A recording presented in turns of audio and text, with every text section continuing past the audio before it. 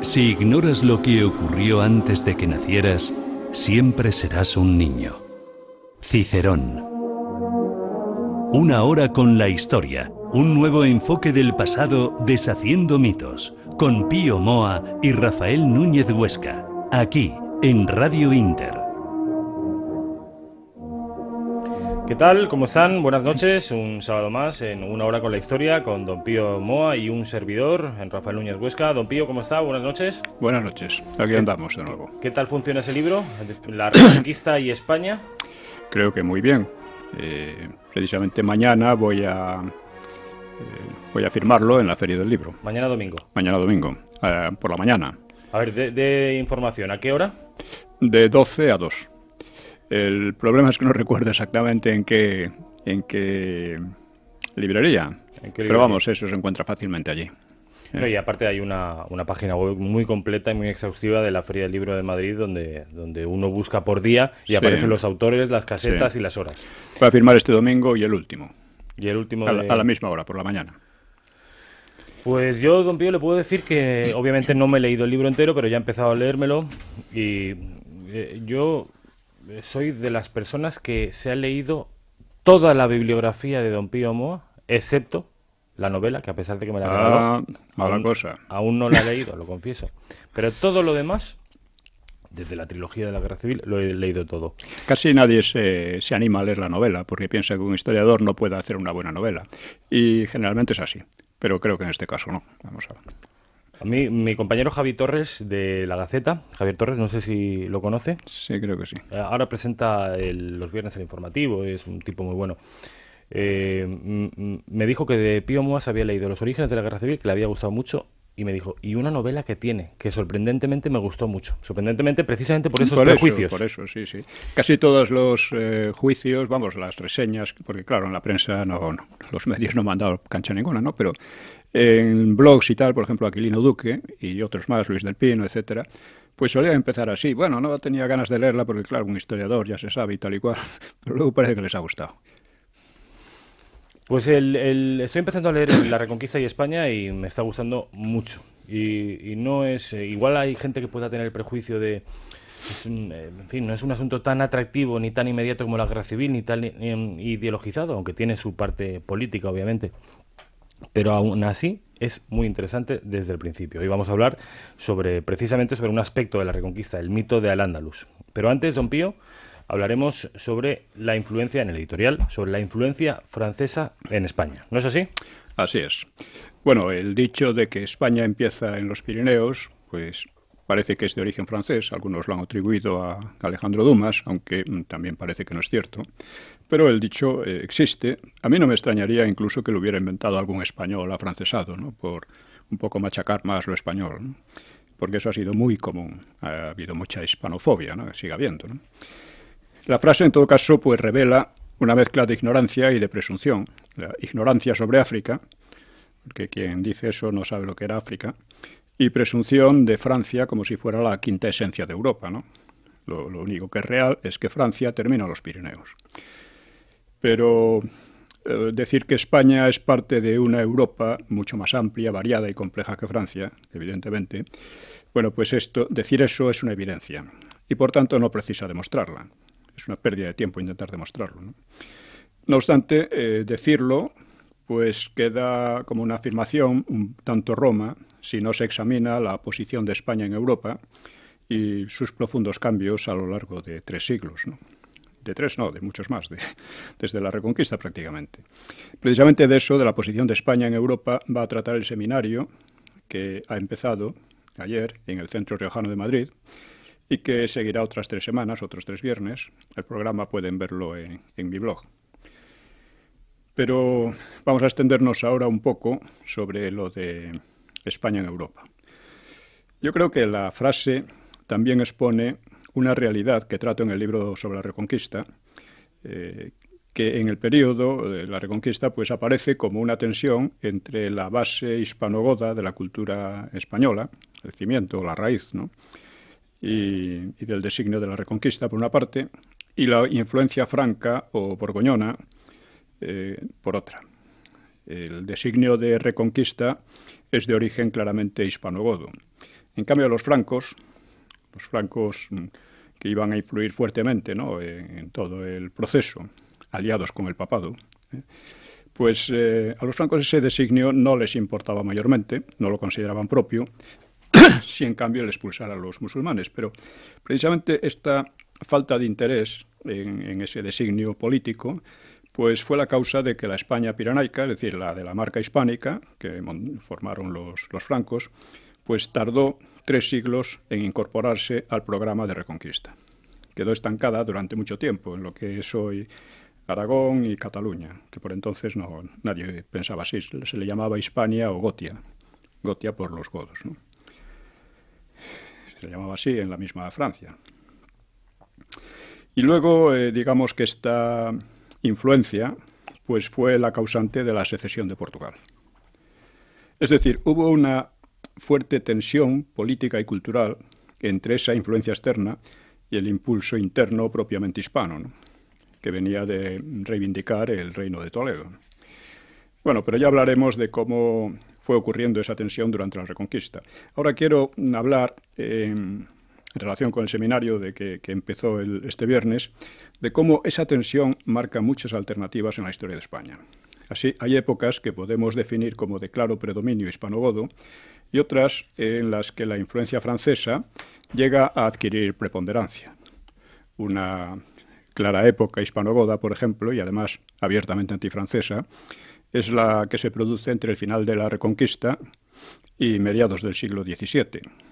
En esa época, España desempeña el papel de baluarte contra el expansionismo turco, contra el expansionismo francés, claro, sobre todo en Italia, y contra el expansionismo protestante. Tres expansionismos que a veces trabajaron unidos contra España. Y al mismo tiempo España construyó el primer imperio transatlántico de la historia, sobre, lo construyó además sobre bases y experiencias propias, sobre una manera de pensar propia. En cambio, el siglo XVIII es un siglo muy afrancesado, en el que el sustrato propiamente hispano queda un tanto disminuido o relegado eh, por el francés. La, cultura pierde originalidad, la originalidad del siglo de oro la pierde, y España queda además un tanto supeditada a la política francesa, y la propia concepción del imperio cambia considerablemente hacia modelos también franceses de pura explotación económica. Desde luego, hay que decir que este afrancesamiento tuvo aspectos muy positivos y, también hay que decir que si se impuso fue eh, también por el agotamiento del modelo cultural anterior, un agotamiento que no, acertó a renovarse sobre sus propias bases, sus, sus propias raíces. Es decir, el, gran auge cultural y de, en todos los aspectos del siglo de oro, pues eh, se agotó en un momento dado. Y si predominó el francés, pues se debió en gran medida a, eso, que no parecía que de, esas raíces no salían ramas nuevas. En realidad podían salir, pero el hecho es que no salieron. A pesar de todo, España en el siglo XVIII se mantuvo como una gran potencia, extendió sus exploraciones y posesiones en el norte de América, llegó hasta Alaska, allí se encontró con los rusos e ingleses, fue capaz de frustrar los planes ingleses de destruir el imperio, aunque desde entonces queda también Gibraltar, de lo que estamos tratando como símbolo de una decadencia y de una impotencia, que no es solo militar y, política, es más amplia. El siglo XIX no vio una mejora. Lo que pasó fue un empeoramiento de aquella situación. Eh, España, decíamos que seguía siendo una gran potencia en el 18, en el 19 ya cambió por completo. La invasión napoleónica trajo consigo pues la pérdida de casi todo el imperio, el paso del país a potencia de tercera o cuarta categoría, eh, además supeditado internacionalmente a Inglaterra y a Francia, y la entrada en un periodo de guerras civiles y de inestabilidad, de pronunciamientos, etc. Uno, uno de los tópicos más absurdos, por no decir algo peor, ¿no? Eh, habla de los españoles como un pueblo cainita. Eso lo hemos repetido una y otra vez por todos los tontos. ¿no?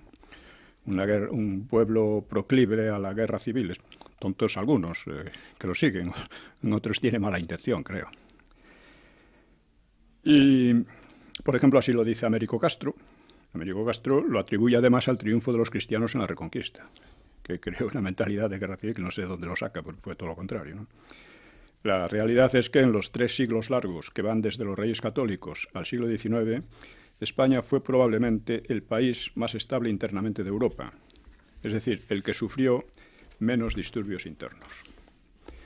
En, el resto de Europa, fue, en Francia fueron las guerras llamadas de religión, eh, en fin, Inglaterra hubo una terrible guerra civil, y aparte otras guerras con, para ampliar el territorio hacia Escocia, Irlanda, etc. La República de Cromwell. Y... La República de Cromwell, etc.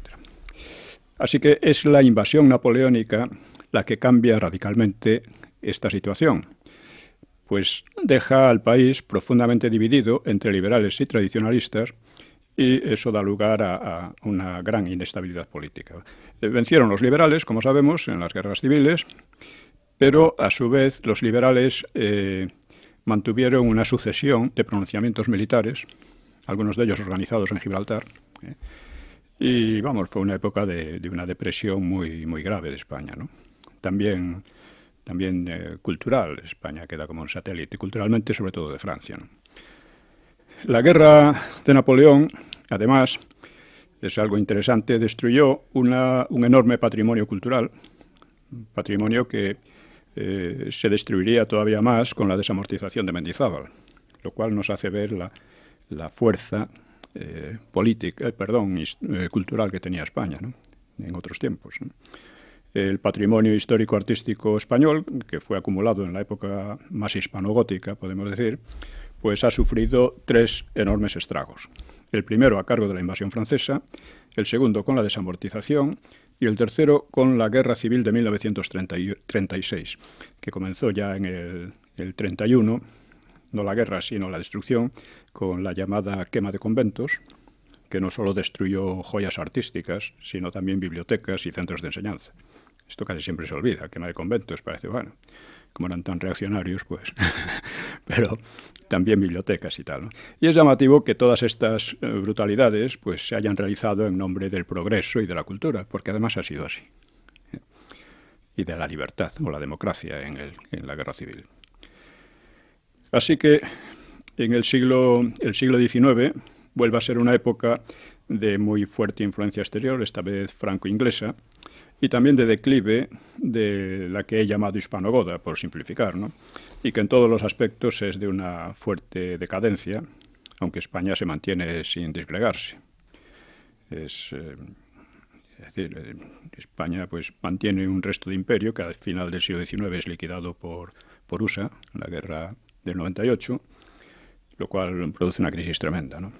El caso es que el siglo XX amanece, por una parte, entre cierta recuperación política, económica y cultural debido a la restauración y al mismo tiempo empieza la, edad, la que se llama Edad de Plata, que culturalmente, intelectualmente es, muy interesante, pero vamos, no es comparable a la Edad de Oro, ¿no?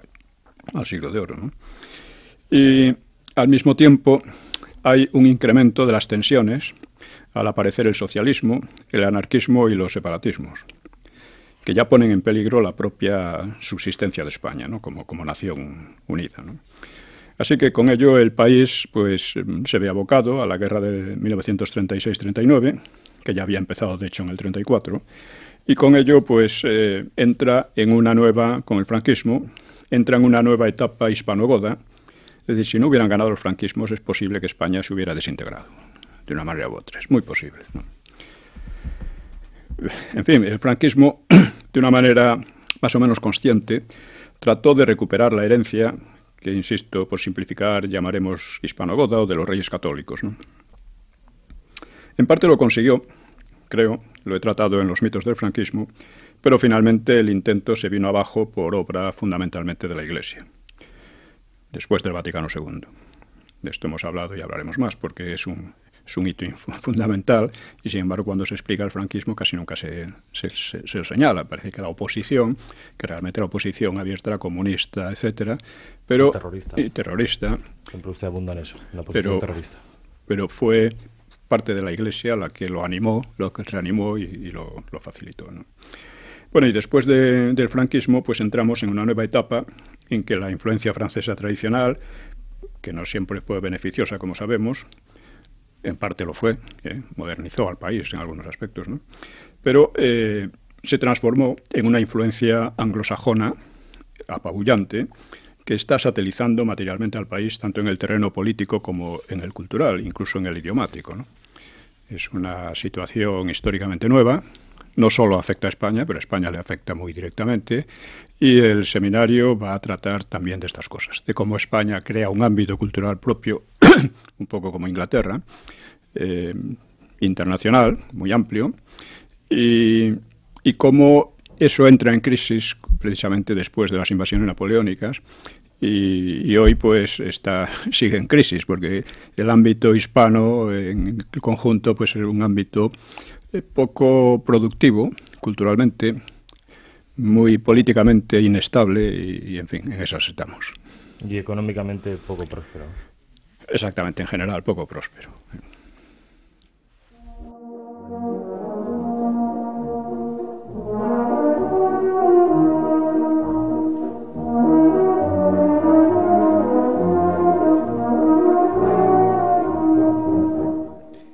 El mito del andaluz.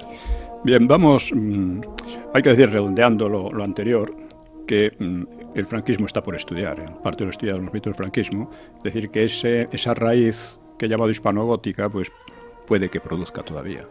Pero de momento mm, estamos en esta situación. Bueno, pues vamos a ver cómo también otra evidencia, no es solo que España está en Europa de siempre, es que hubo una reconquista. Una evidencia no necesita demostración.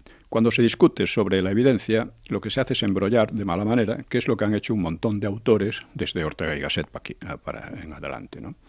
Embrollar, ya vimos la sesión pasada, como, ha ocurrido, y, lo, absurdo de las proposiciones contra la reconquista. Por otra parte, hay que decir que la negación o la denigración de la Reconquista, pues viene a ser un, ariete contra la, contra la propia España, contra la idea de España. Es decir, si la Reconquista no existió, entonces España prácticamente no existió. Nos dicen que es un invento del siglo XIX, en fin, cada uno dice lo que quiere. Y, y esta especie de negación de la Reconquista hay que entenderlo en, integrándolo en la leyenda negra. Es como una negación más amplia, que que ya digo, abarca a, toda la propia existencia de España, lo cual es una contradicción también, porque todo esto es contradictorio, porque si España no existe, ¿por qué la combaten? bueno, de ahí ha salido tesis como, ya digo, que si España solo existe desde los reyes católicos o desde Felipe V, desde la Constitución liberal nacionalista y nacionalista, por cierto, de Cádiz, o, o que no, ¿no? O del 78. O del 78 incluso, la Constitución del 78. Antes España, por lo visto, o no existía o era un desastre del que no vale la pena casi hablar. ¿no? Eh, esto último lo sostiene el historiador, ya hemos hablado de esto, pero lo voy a repetir, el historiador inglés Raymond Carr, muy prestigiado en España, eh, lo dice citando, por ejemplo, al viajero inglés Richard Ford del siglo XIX o a Gerald Brennan. Dice, España es un conjunto de pequeñas repúblicas hostiles o indiferentes entre sí, aunadas en una federación escasamente cohesionada. Y ello, pese a que España es abundantísimamente citada desde muchos siglos antes, dentro y fuera del país, como una referencia política y cultural y, no solo geográfica. O sea, si fuera así, a ver cómo España habría podido mantener, eh, vamos, marcar los límites al expansionismo protestante, turco, etcétera, ¿no? Pero bueno, es, es, es algo tan... Entramos ahí en el terreno del absurdo cuya base es simplemente la hispanofobia, el deseo de negar a, España. Algo que se dio también mucho cuando la independencia de, los países americanos. O sea, el odio a España era una verdadera, verdaderamente feroz. Y esto, bueno, en fin, Carr tendría que explicar además cómo es que, eh, Carr y los otros, ¿no? Cómo es que España tiene los límites más antiguos de, de, Europa, mucho más antiguos que Gran Bretaña, por ejemplo, que en pleno siglo XX pues ha perdido a Irlanda, nada menos. En fin, eh, esta, eh, hay que decir que todo esto, eh, por desgracia, se difunde mucho a partir de las universidades, de institutos. Es más, en muchos lugares los profesores prohíben despóticamente a los alumnos utilizar el término reconquista porque dicen que no es científico. Ellos sí que son científicos. Esta versión, eh, o, bien la admiten, pero como algo nefasto. Uno, ya hablamos el otro día de Cebrián, que hablaba de la insidiosa reconquista, una, palabra totalmente, idiota, ¿no? porque insidiosa no tuvo nada, fue bien clara. ¿no? Y, pero que lo que pretende es denigrarlo. Vemos también cómo los políticos, al llegar a la transición, declararon a, este Ablas, mm, Infante, que era un chiflado medio islamista, ¿no? pero islámico, padre de la patria andaluza. Así, como suena, ¿no? Bueno, esto se ha impuesto también, esta especie de adoración de Al-Ándalus, se ha impuesto eh, en, ámbitos académicos y políticos extranjeros, o sea, muy en relación con, con las habituales eh, ideologías actuales LGTBI, el multiculturalismo y de una supuesta tolerancia. Todo esto lo ven reflejado en Al-Ándalus. Al-Ándalus eh, reluce entonces como un modelo para las sociedades que se pretende implantar en Occidente y, según aseguraban pues, profesores, por ejemplo, de, centros como la Universidad de Yale, eh, en un ensayo titulado Cultura en el tiempo de la tolerancia, al Andalus como patrón a imitar en nuestro tiempo. Nada menos, ¿eh? la Universidad de Yale, que pasa por ser una de las más importantes del mundo. Y decía cosas como bienestar extraordinariamente vigoroso de esa cultura, pluralismo étnico, tolerancia religiosa y una variedad de formas importantes de lo que podríamos llamar secularismo cultural, poesía y filosofía secular.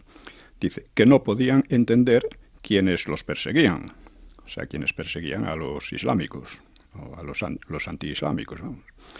Otra profesora, esta de Harvard, llamada María Rosa Menocal, ha escrito una peculiar narración que se titula La joya del mundo, musulmanes, judíos y cristianos y la cultura de la tolerancia en Al-Ándalus. Todo esto es pura ilusión, o sea, es pura quimera, no, no, no tiene nada que ver con la realidad como iremos viendo, ¿no? Pero esto, por una parte, expulsa la realidad del relato histórico, que se convierte en una fantasmagoría, y también eh, fundamenta políticas actuales, como las LGTBI y demás, pero que se pretenden ser indiscutibles, y que además aspiran, es algo nuevo en la historia, aspiran no solo a controlar el pensamiento, como han hecho otros totalitarismos, sino a controlar los sentimientos. Esto es algo nuevo. No se habla apenas de ello, pero hay que hablar.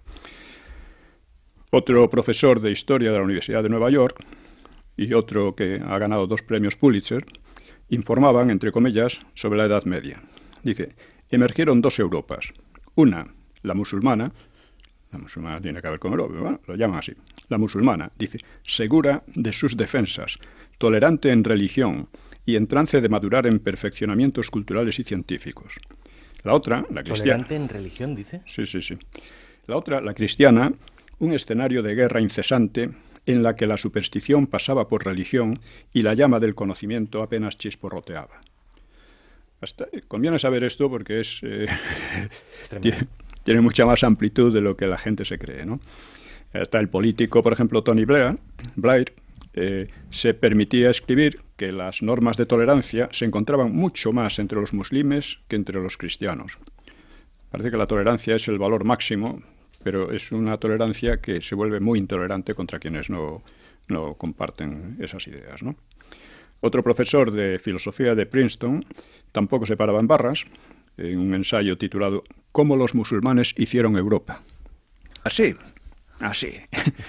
Dice, el espíritu de tolerancia creado por los árabes en Al-Ándalus sobrevivió a su salida en el siglo XI, de modo que fueron precisos, se refiere a la salida de Córdoba, ¿no? de, de, Al-Ándalus, que siguió en las taifas.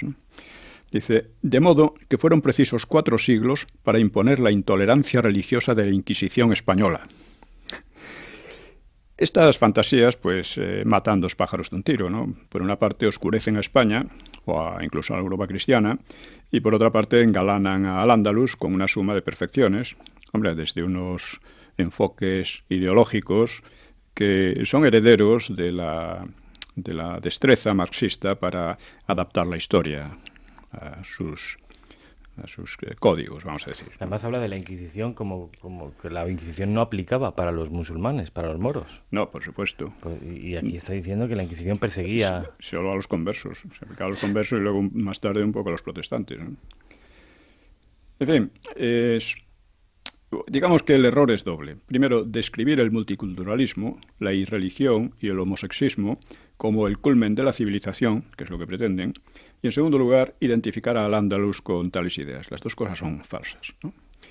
Eh, ciertos medios académicos anglosajones, en su afán de difuminar la reconquista, llegan a eliminar el término España para la época, pese a que era citado universalmente.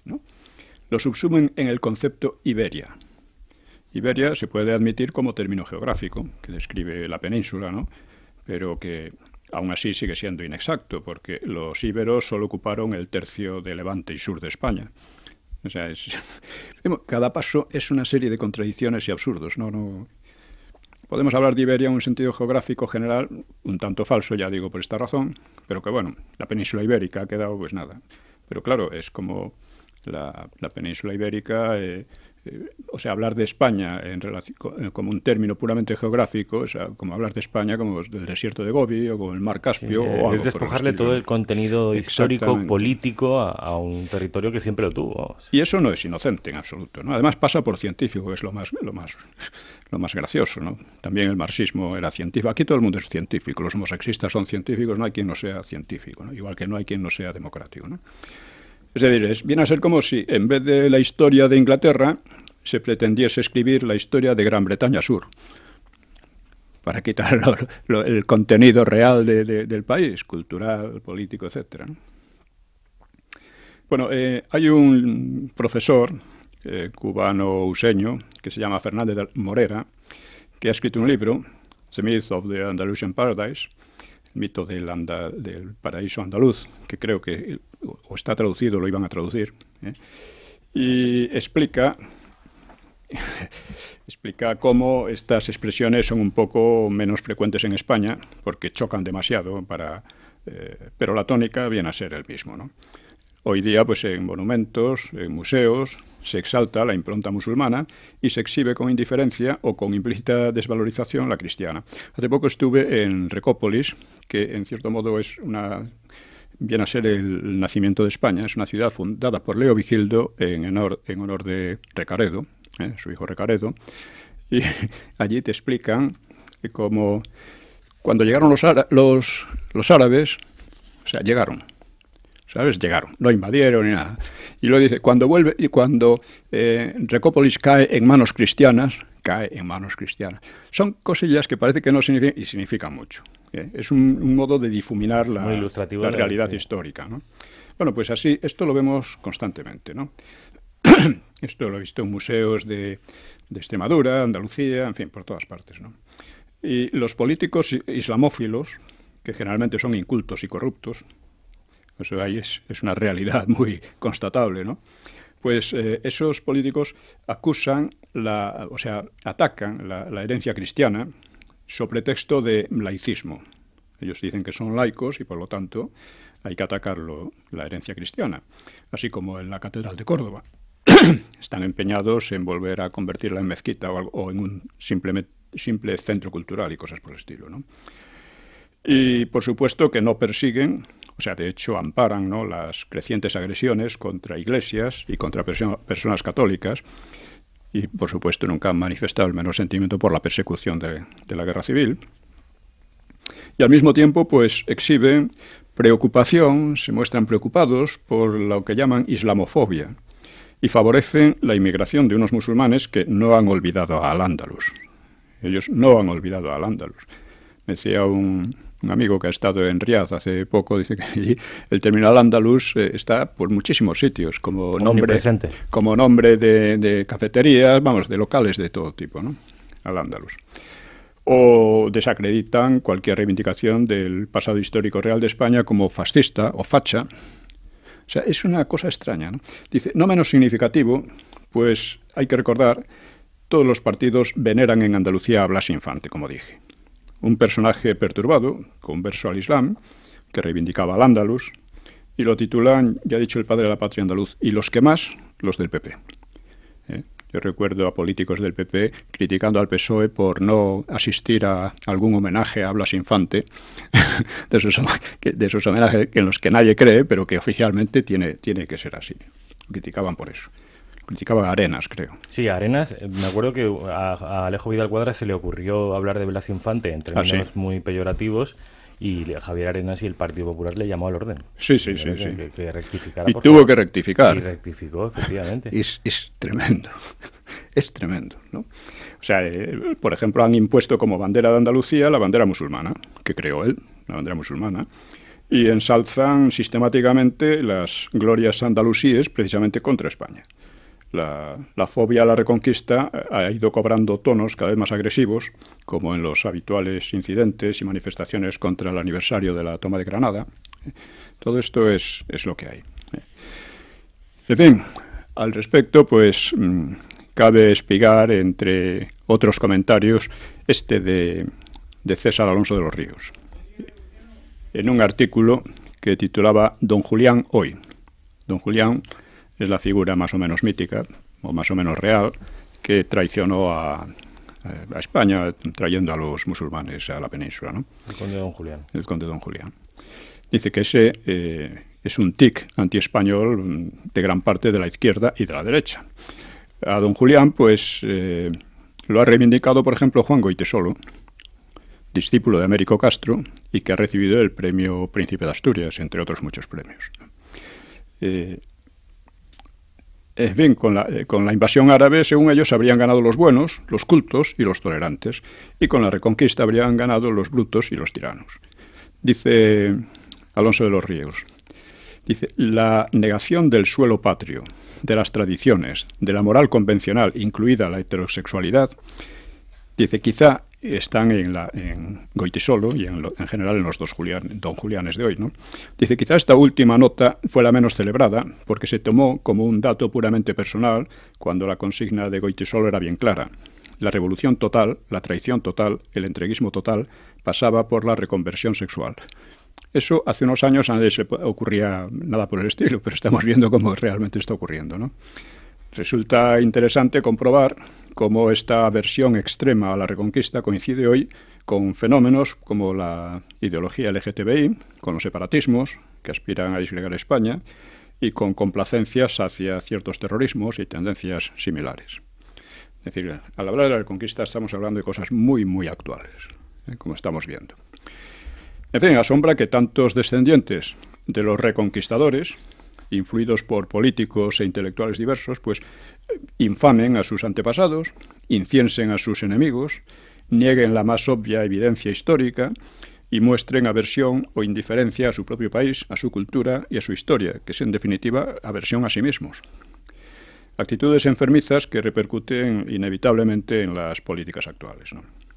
Entender este curioso fenómeno pues exige remontarse a la gran quiebra moral del desastre del 98, una, derivación del desastre fue precisamente el regeneracionismo del que hemos hablado, que propugnaba doble llave al, sepulcro de Cid para que no vuelva a cabalgar, como decía Costa, o calificaba la historia de España desde los visigodos como enferma, como decía Ortega, o explicaba la edad de mayor poder cultural y político de España, salida de la Reconquista, como un imperio de mendigos y frailes alineado con miseria y superstición, esto lo decía Azaña, y así un largo etcétera. ¿no? Toda aquella sarta de disparates mereció la célebre denuncia de Menéndez Pelayo contra los gárrulos, sofistas que denigran por sistema el pasado español y hasta niegan su misma existencia nacional. O sea, atacan una cosa que dicen que no existe. Sobre el regeneracionismo, pues en fin, eh, hay, que ver, hay que señalar también que la, la ¿cómo se dice? El, el antifranquismo recupera, recupera todo esto. Es decir, es más, han utilizado el ataque al franquismo, que parecía, lo presentan como una cosa lógica, porque dicen que es una dictadura, mientras que ellos son demócratas, cosa que jamás se ha demostrado. Y al atacar al franquismo atacan a la idea de España. Lo, utilizan muy a fondo eh, en, esa, eh, en esa relación. Bueno, vamos a decir un poco lo que fue en realidad el, al Andalus. Al Andalus, en primer lugar, fue una invasión, eh, partió de una invasión. Esta invasión eh, era, como diríamos, mm, eh, Ya hablaremos de por qué triunfó con tanta facilidad, siempre se ha hablado de eso, pero bueno, ha habido muchas invasiones que han triunfado con mucha facilidad y los árabes destruyeron enormes imperios con mucha facilidad. Aquí además se dio el caso evidente de la traición de una parte de los visigodos que pensaban que los musulmanes les iban a ayudar a recuperar el poder y no a quedarse con el poder. Esto lo explico un poco ahí. Está en las propias crónicas eh, musulmanas. ¿no? Esta, una vez conseguido el dominio de, la península ibérica, pues instalaron un poder que era un poder fundamentalmente árabe. Perdón, Pío, para que el, oyente se, se, haga una idea. ¿Año? 711. ¿Cuándo conquistan la península prácticamente entera? ¿Cuánto tardan? Entre 3 y 5 años. Es algo verdaderamente sorprendente. Sorprendente, pero mire, los alemanes en la Segunda Guerra Mundial conquistaron Francia en tres semanas. Entonces, de ahí muchos han especulado con que en realidad la población quería islamizarse, la población quería eh, estaba harta de los impuestos. A nadie se le ocurre decir que los franceses estaban hartos de los impuestos. A nadie se le ocurre decir que los alemanes lo conquistaron porque, porque Francia anhelaba que la conquistasen, cosas por el estilo. Estas hartas de tonterías, que son puras especulaciones sobre la nada, es decir, sobre, sobre la hispanofobia, claro, pues eh, funcionan en la universidad, funcionan en medios intelectuales, y casi nadie se atreve a, rebatirlas. Pero hablan no, tanto de que España está deseosa de, ser conquistada por el invasor musulmán, sino que en ese momento España o Hispania eh, es, un, es un territorio sin demasiado arraigo cultural con el pasado. Es decir, un... No, España, en ese momento es un país eh, cristiano, muy cristianizado, quizá el más cristianizado de Europa, de Europa Occidental, eh, después de Italia es el país eh, mejor organizado eh, de todos los de Europa Occidental, de todos. O sea, la caída de, España causó mm, verdadera impresión en toda Europa. Como es porque el país que era eh, mejor organizado, el más influyente en muchos aspectos, incluso religiosos, culturalmente uno de los más importantes, solo Italia puede, se puede considerar por encima, uno de los más influyentes. ¿Cómo es que de repente se viene abajo? Eso se vino abajo el, imperio persa, eh, que, destruyeron los, musulmanes en un par de batallas también, o gran parte del imperio bizantino, que lo conquistaron también en un par de batallas, eh, y así. ¿Por qué ocurrió esto? Pues porque el, reino visigodo era un reino, como ha explicado este, ¿cómo se llama? Con los nombres como siempre, ¿no? Uno de los máximos expertos la, en el reino visigodo, era un, reino considerablemente centralizado. O sea, España en aquel momento era muy distinta, por ejemplo, de Francia, que estaba constantemente en reyertas internas y, reinos internos que se llevaban a matar entre ellos. Eh, muy distinto de Inglaterra, que estaba dividida en siete, por lo menos siete reinos que estaban constantemente también en guerra entre ellos. muy distinto de Italia, que no llegó a unificarse. Estaban allí los bizantinos, los, los lombardos, etcétera, ¿no? los ostrogodos, los lombardos, etcétera y que estuvieron realmente, y muy distinto de, Alemania, lo que llamamos Alemania, que también tenía el mismo tipo de problemas. Tanto Alemania como Italia no llegaron a organizarse como estados hasta, hasta el 19. Bueno, pues España en aquel momento estaba bien organizada en general y contra muchas especulaciones le dedico un capítulo a mostrar cómo era un, un régimen cada vez más, más fuerte. Pero ocurren cosas en la historia Primero, esa idea necia de que aquel, de aquel poemilla de que vinieron los sarracenos y nos molieron a, palos porque eran más que los buenos. Eran menos, cuando llegan son menos que los visigodos, eh, vencen en esa batalla gracias a la traición de una, sección de los godos y a continuación se expanden. Los godos que traicionaron esperaban que les entregaran el poder, pero no les entregaron ningún poder. Eso sí, les dieron grandes eh, fincas y grandes prebendas a los, a los traidores. Y este es uno de los aspectos, ya digo, que toco en el libro. La traición. La traición, que es fundamental. Porque los árabes habían vencido a imperios más grandes, mucho más grandes que el visigodo, que el reino visigodo, y lo habían vencido sin traiciones. ¿eh? Hombre, apoyándose. Mano militar. Sí, una a veces apoyándose, pues, por ejemplo, en los judíos, en los cristianos de Persia, etcétera, ¿no? Del imperio persa y tal pero no con una traición directa en el propio elemento directivo del imperio. Bueno, pues esto fue así. Luego, las características de una cosa que creo aportar es cómo el, primero el Emirato y luego el Califato de Córdoba, que duran tres siglos, cómo, eh, cómo al venirse abajo revelan con toda claridad lo que era aquel sistema de tolerancia que llaman. Era un sistema extremadamente despótico, basado en el poder de clanes árabes, que a su vez se llevaban mal entre ellos. O sea, la guerra civil fue una constante en Al-Ándalus.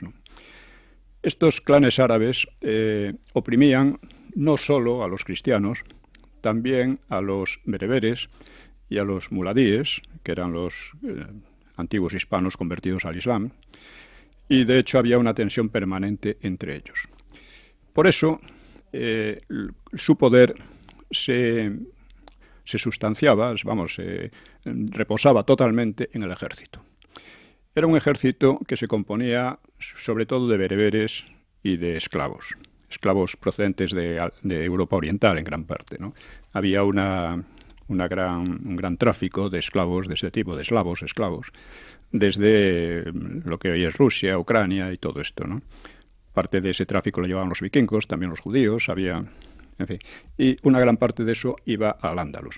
En al Ándalus había muchísima más esclavitud que en la parte cristiana.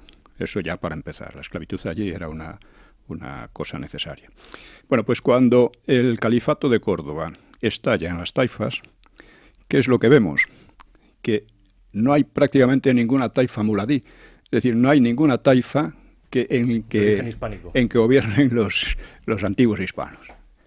Todas son o árabes, o bereberes, o eslavas. Solo hay una, creo, allá por el Algarve, que, era muladí, que no, duró mucho. ¿no? O sea, todas eran. ¿Por qué? Porque el poder reposaba exclusivamente en el poder militar. Eslavas, qué curiosa. ¿De, dónde venían exactamente? ¿Quiere? Pues de la zona de Ucrania y por ahí, ¿no? O sea, una de las cosas, uno de los vikingos, por ejemplo, eh, trabajaron mucho el tráfico de esclavos desde, desde por ahí. ¿eh?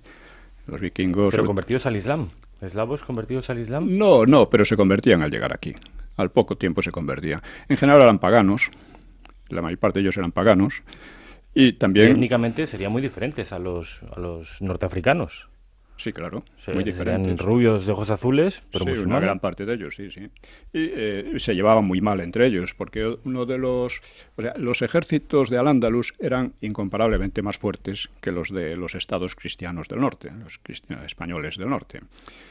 Pero tenían una gran debilidad interna por las querellas entre los propios clanes árabes las querellas entre árabes y bereberes. O sea, los bereberes normalmente les, los, utilizaban como carne de cañón, valga la...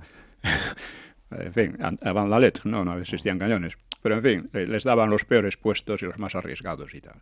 Y los eslavos, pues algunos de ellos llegaron eh, efectivamente a tener posiciones de poder. Eran esclavos, pero eh, podían llegar a, no a lo más alto, pero casi a lo más alto dentro del ejército. Es decir, tenían fuerza. ¿eh? Y estos eran los que se imponían sobre el resto de la población. Por eso, lógicamente, Al-Ándalus tenía que haberse asentado y, e impedido que los cristianos avanzasen, porque era muchísimo más fuerte. Siempre se, insiste en la cultura. Entonces vamos a hablar un poco de la cultura. La cultura eh, al hablar de la cultura tenemos que distinguir entre dos tipos. La cultura de élite, o la alta cultura, que puede ser pues el pensamiento, la, técnica, la ciencia, la filosofía, la, filosofía, la, en fin, la literatura en gran medida. En todo esto destacaron mucho los andalusíes hasta el siglo XII. Después aquello se estancó y quienes avanzaron fueron los cristianos, ¿no? los europeos. Eh, esta era una cultura de élite en el sentido de que disfrutaban de ella muy pocos. Es lógico. Por otra parte, eso sigue siendo así. O sea, la cultura más, más alta pues es una cosa de élites también, actualmente, como siempre. ¿Quién va a la ópera? sí. Obviamente una Por ejemplo. O quien lee el Quijote o Shakespeare o por ahí. ¿no? Bueno, el, la, por otra parte, la, existe la cultura popular. La cultura popular ya es muy distinto. La cultura popular es eh, más amplia, es desde la canción, las costumbres, la posición de la mujer, en fin, todo esto. Los ejércitos cristianos tenían una superioridad moral, en principio, porque eran ejércitos de los propios de la propia población. ¿eh? eran ejércitos, por así decir, nacionales, dando a esto un sentido muy amplio. No eran ejércitos extranjeros como eran los de Al-Ándalus. los, por otra parte, la posición de la mujer indudablemente era muy superior. Una cosa que señala este Fernández Morera es la, cómo, cómo vivían las mujeres entonces.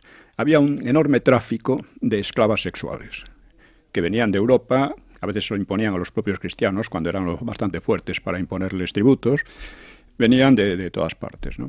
Y estas eh, esclavas pues eran, er, era, eran, ¿cómo diríamos? Un mercado de trata de blancas. Un mercado de trata de blancas total. Es decir, tenían gente, los, los amos, las instruían para en el mercado adoptar posturas provocativas, etcétera, a fin de, de, que les pagasen más por ellas. ¿eh? Estos iban a los arenes, y además este, de, uno de los fuentes de ingresos de Al-Ándalus era la venta de mujeres hacia Oriente Próximo, ¿no? de mujeres y de esclavos. O sea, el tráfico de esclavos fue una de las bases principales de la economía de Al-Ándalus esto no lo dicen estos cantamañanas, pero es, comprobadísimo, es así. Es así. Cervantes, sin ir más lejos, estuvo... Cervantes estuvo, pero, bueno, cautivo, ¿no?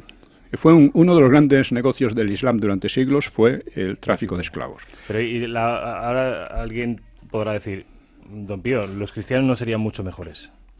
Era, en ese sentido, eran mucho mejores. O sea, la mujer en, en, la parte cristiana tenía derechos. Las mujeres que no eran esclavas, por así decir, que no estaban en, los arenes, eh, eran las esposas legítimas, por así decir, estas iban infundadas en el burka negro de arriba abajo.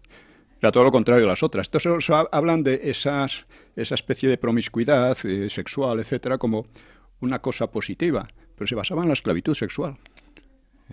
Esto no existía en la parte cristiana, ni mucho menos, ni mucho menos.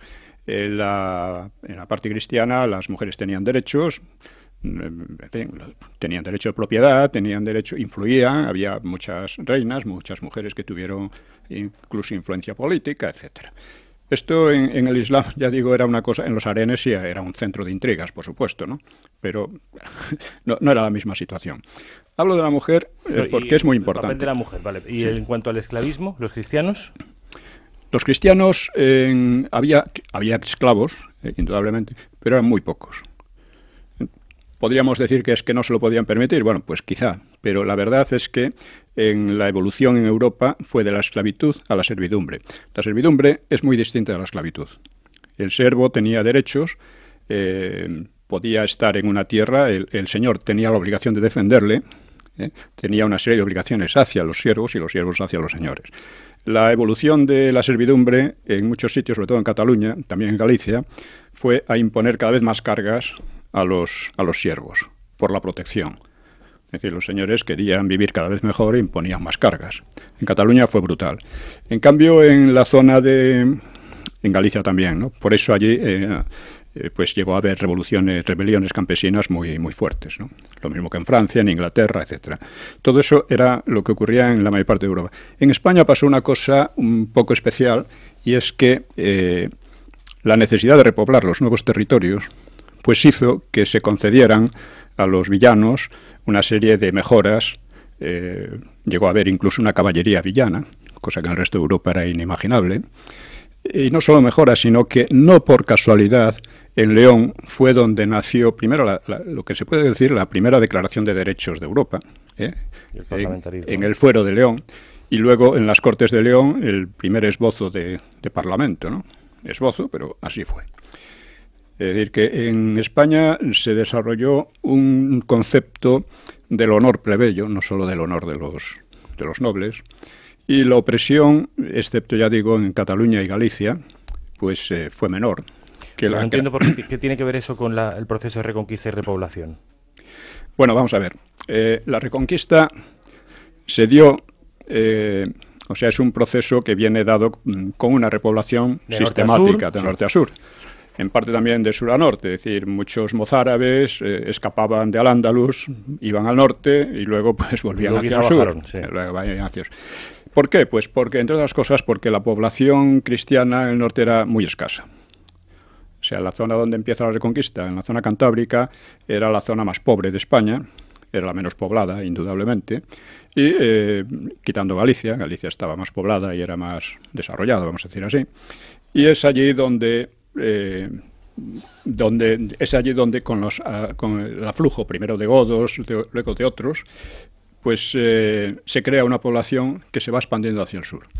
¿Por qué se expande? ¿Por qué ocurre esto? Bueno, en primer lugar hay un fenómeno que estudió Sánchez Albornoz, que es la despoblación del Valle del, Duero, una despoblación relativa, claro, no vamos a decir que desapareciera todo el mundo de allí, y que eso mm, en un momento dado se vuelve a repoblar con la gente del norte, y luego el avance de los cristianos solía ir, eh, pues, eh, añadido a, una, unas veces expulsión y otras emigración de los musulmanes. Los musulmanes no querían vivir bajo el yugo cristiano, porque era un yugo igual que el que ellos implantaban allí, etc. Sobre esto hay que decir otra cosa, volviendo al Andalus, porque nos estamos un poco desviando del tema. De, esto, muy de esto habrá que hablar también.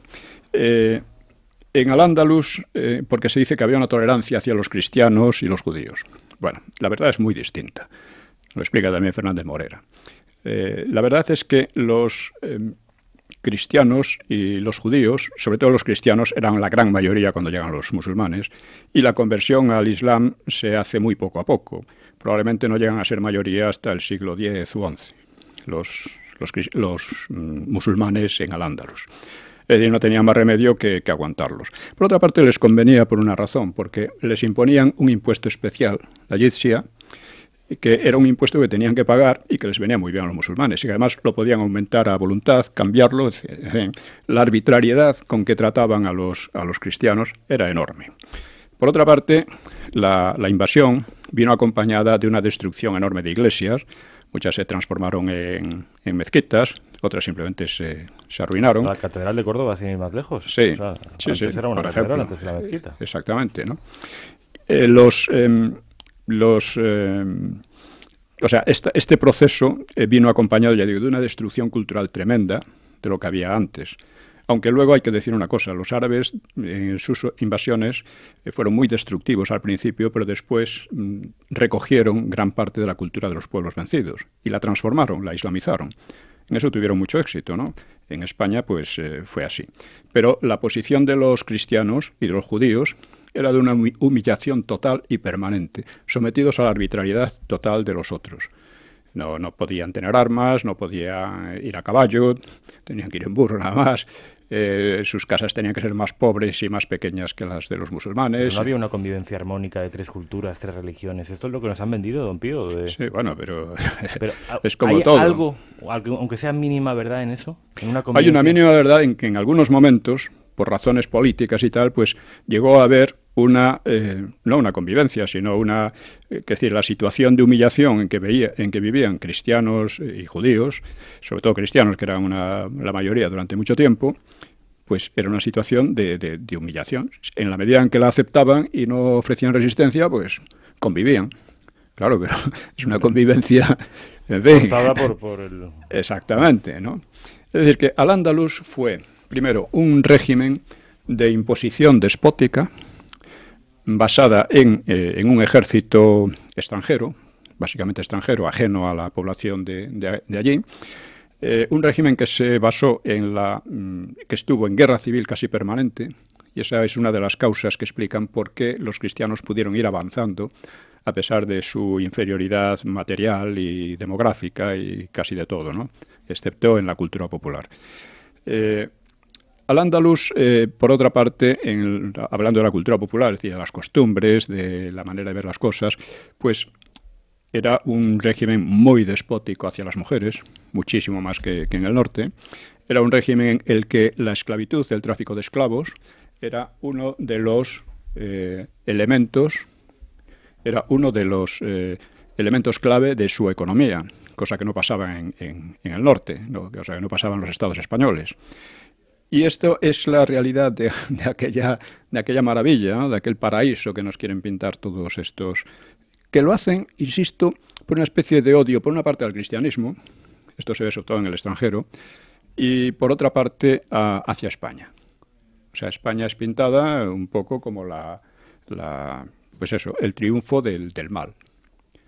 Y todo lo que dicen de Al-Ándalus es falso, pero aunque fuera cierto, nosotros somos españoles. Aunque tuviera algo de cierto, por supuesto no es nada cierto, ¿no? aunque tuviera algo de cierto, nosotros somos españoles, descendemos de los reconquistadores, nos debemos a ellos. Su obra es lo que hace que ahora no estemos en el Magreb, ni como en el Magreb. Aunque solo fuera por eso, tenemos que decir, bueno, sí, pues se pueden admirar algunos aspectos de, Al-Ándalus, de esa cultura, esa poesía, eh, la ciencia y técnica que pasaron de los griegos hacia Europa, y enriqueciéndola ellos mismos también. ¿eh? Todo eso es muy admirable y está muy bien. ¿Eh? Pero, en fin, yo no creo que los ingleses se dediquen, hablan de los nazis, pues a, en fin, a hablar de de sus maravillas técnicas, de su avance científico, porque todo eso lo tuvieron. ¿No? Desde luego, pero no es lo que prima. Eh, sí, ellos pueden decir, sí, todo, eso está muy bien, pero nosotros somos nosotros y nosotros ganamos.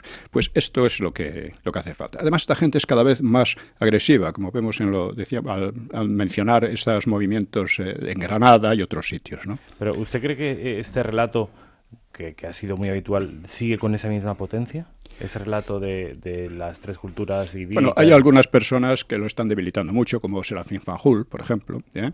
Eh, yo creo que también estoy contribuyendo bastante y creo que cada vez habrá más, porque el absurdo suicida que, se nos trata de imponer es que no, no puede durar mucho.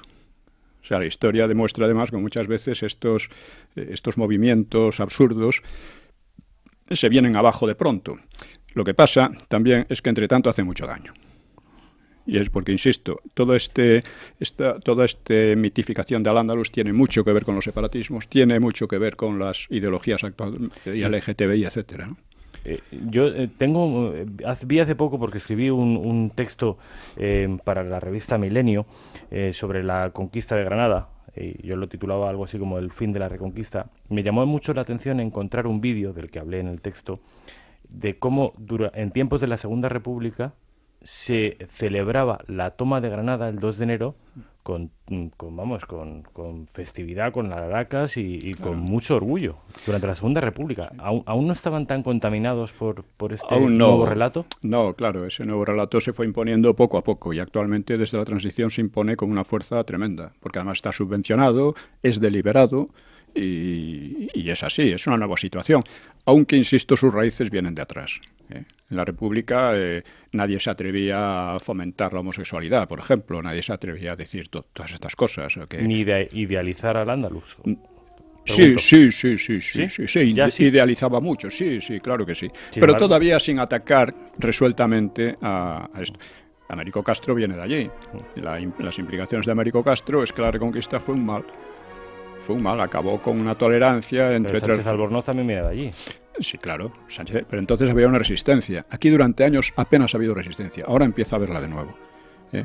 ¿Qué es lo que pasa con otras muchas cosas? Desde la transición aquí se han implantado una serie de discursos mm, verdaderamente antiespañoles y absurdos que sin apenas resistencia. Ahora empieza a haber resistencia, afortunadamente. Don Pío decía, para acabar, que, aunque fuera verdad algunas de las mentiras que se nos ha venido diciendo de Andalus, eh, los, los, herederos de, los enemigos del Andalus, es decir, de los reinos cristianos, somos nosotros. Y aunque fuera verdad, nosotros somos herederos de, los que ganaron aquellas batallas, que por ser muchas y por ser durante mucho tiempo, eh, Ortega las, las eh, despachó como, como si no tuvieran nada que ver con una batalla ni con una reconquista. No, y, hay que decir también que a ver cuántos españoles estarían dispuestos a vivir como en Marruecos o en Argelia o por ahí, ya que eso es lo que les gusta, dicen. Hoy, don Pío, yo tengo en el pecho eh, un, colgante que es una cruz. Hablamos en español, eh, somos de cultura cristiana, eh, precisamente porque esos antepasados ganaron a, los musulmanes. Nos tenemos que ir, don Pío, que se nos ha hecho hoy muy tarde. ha sido un placer, nos vemos y nos escuchamos la semana que viene. De acuerdo, hasta la semana. Hasta mañana, hasta la semana que viene.